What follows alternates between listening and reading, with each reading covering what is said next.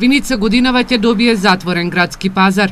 Граначалникот Емил Дончев вели дека постапката за изготвување на документацијата и промена на деталниот урбанистички план ќе трае околу 3 месеци, пошто ќе следи распишување на тендерската постапка.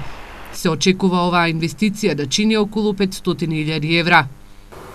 Изградбата на затворен пазар во Виница веќе е во почетна фаза, значи се работи на деталниот урбанистички план и на техничка документација. Ќе биде проект кој што ќе го обележи следниот период.